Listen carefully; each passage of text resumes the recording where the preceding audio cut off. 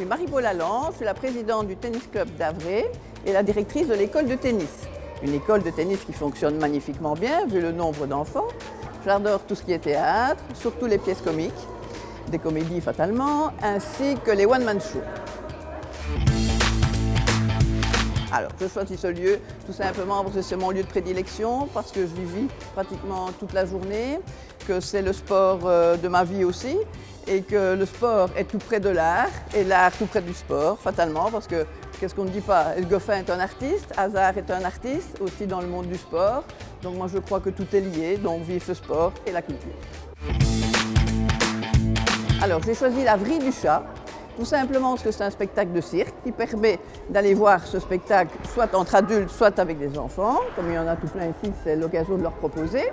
Et puis euh, j'adore ce spectacle-là parce que justement, ça n'a rien à voir avec le cirque habituel. Ce sont des gens qui, à mon avis, font beaucoup de sport, donc c'est lié aussi un petit peu à, tout ce qui est sport.